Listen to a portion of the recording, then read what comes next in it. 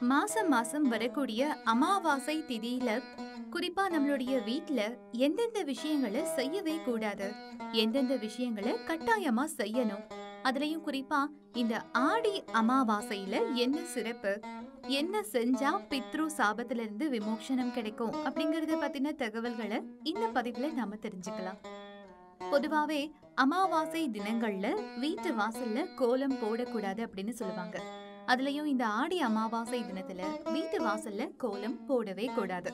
வாசல கூட்டி சுத்தம் செஞ்சு தண்ணிய மட்டும் தெளிச்சு விட்டாலே போதுமானது. அடுத்தபடியா அமாவாசை தினத்தன்று எந்த ஒரு விஷயத்துக்காகவும் கடன் வாங்கவே கூடாது. அவசர தேவையா இருந்தாலும் அடுத்தவங்க கிட்ட கடன் வாங்கின பணத்தை செலவு செய்யக்கூடாது. அமாவாசை தினத்தன்று சமைக்கும் போது வீட்ல இந்த பொருட்கள் இல்ல அந்த பொருட்கள் இல்ல அப்படின்னு சொல்லி பக்கத்து வீட்டுக்காரர்கிட்ட கடன் வாங்கி அமாவாசை சமையலை செய்யக்கூடாது. யாரும் அவங்க வீட்ல இருக்கிற சமையல் பொருட்களை கடனாகவும் கொடுக்க கூடாது வீட்ல அமாவாசை அன்னைக்கு பூஜை செய்யறவங்களா இருந்தாலும் சரி பூஜை செய்யும் பழக்கம் அதாவது இலை போடும் வழக்கம் இல்லைனாலும் சரி கட்டாயமா காகத்துக்கு எச்சில் படாத சாதத்தை வச்சுட்டு தான் வீட்ல இருக்கிறவங்க உணவு சாப்பிடணும். அமாவாசை தினத்தன்று வீட்டில் இருக்கிற குழந்தைகள் பெரியவர்கள் யாருமே முடி திருத்தம் செய்யவே கூடாது. ஷேவிங் செய்யக்கூடாது நகம் வெட்டக்கூடாது என்பது குறிப்பிடத்தக்க ஒரு விஷயம். அமாவாசை தினத்துல யாரும் அசைவம் சாப்பிட மாட்டாங்க. இருந்தாலும் சில பேர் வீட்ல அசைவம் சமைக்கலனாலும் வெளியில போய் அசைவம் சாப்பிடும் பழக்கத்தை வச்சிருப்பாங்க.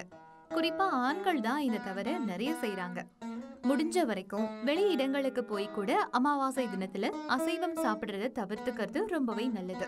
அமாவாசை தினங்கள்ல கட்டாயமா முன்னோர்களுக்கு கொடுக்க வேண்டிய திதி தர்ப்பணத்தை தவறாம கொடுத்துடணும். அமாவாசை தினத்தன்று உங்களுடைய முன்னோர்களை நினைச்சு வழிபாடு செய்வது கோடான கோடி புண்ணியத்தை நம்மளுடைய குடும்பத்துக்கும் சேர்க்கும் அப்படிங்கறதுல ஒரு துளி அளவும் சந்தேகம் கிடையாது.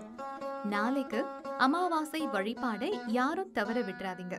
அமாவாசை தினத்துல முன்னோர்களுக்கு செய்யும் கடமைய நாம மறந்தா முன்னோர்கள் நம்மள மறந்துடுவாங்க அமாவாசை தினத்தன்று வீட்ல வழிபாடு செய்யறதுக்கு முன்னாடியும் வீட்ல வழிபாடு செஞ்சதுக்கு அப்புறமாவும் தீட்டு வீடுகளுக்கு போறத தவிர்த்துக்கணும். குழந்தை பிறந்த வீடு பெண் குழந்தைகள் வயதுக்கு வந்த தீட்டு மாதவிடாய் தீட்டு இருக்கிறவங்களுடைய வீட்டுக்கு பூஜை செய்யறதுக்கு முன்னாடி போக கூடாது பூஜைய முடிச்சதுக்கு அப்புறமாவும் போக கூடாது அப்படிங்கறத ஞாபகத்துல வச்சுக்கோங்க. அடுத்தபடியா அமாவாசை தினத்தன்று நாம செய்ய வேண்டிய ஒரு விஷயம் அன்னதானம். உங்களால முடிஞ்ச அளவு வயசானவங்களுக்கு அன்னதானம் வஸ்திர தானம் செய்யலாம். மாசம் மாசம் அமாவாசை தினத்துல இந்த அன்னதானம் செய்வது சிறப்பா இருந்தாலும் இந்த ஆடி அமாவாசை அன்று ஒரு ஏழை முதியவருக்கு புதுசா வஸ்திரத்தையும் சாப்பாட்டையும் வாங்கி தானம் கொடுத்தா பல தலைமுறைகளாக நம்மள தொடர்ந்து வர பித்ரு சாபம் பித்ரு கோபம் பித்ரு தோஷம் அப்படின்னு இது எல்லாத்துக்குமே ஒரு விமோக்ஷனம் கிடைக்கும் அப்படிங்கிற ஒரு கருத்தோட இந்த பதிவை நாம நிறைவு செஞ்சுக்கலாம். மேலும் இது போன்ற பல சுவாரஸ்யமான தகவல்களை தெரிஞ்சுக்க தெய்வீகம் சேனலுக்கு சப்ஸ்கிரைப் பண்ணுங்க.